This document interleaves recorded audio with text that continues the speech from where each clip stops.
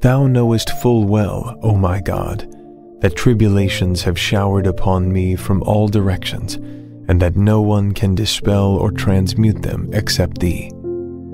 I know of a certainty, by virtue of my love for Thee, that Thou wilt never cause tribulations to befall any soul unless Thou desirest to exalt his station in Thy celestial paradise, and to buttress his heart in this earthly life with the bulwark of Thine all-compelling power, that it may not become inclined toward the vanities of this world. Indeed, Thou art well aware that under all conditions I would cherish the remembrance of Thee far more than the ownership of all that is in the heavens and on the earth.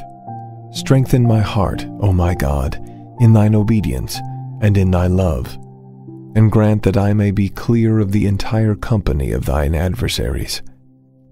Verily, I swear by Thy glory that I yearn for naught besides Thyself nor do I desire anything except thy mercy, nor am I apprehensive of aught save thy justice.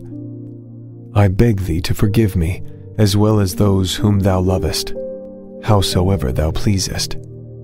Verily thou art the Almighty, the Bountiful.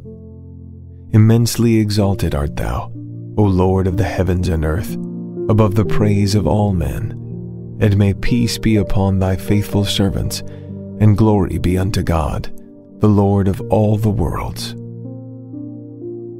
The Bab.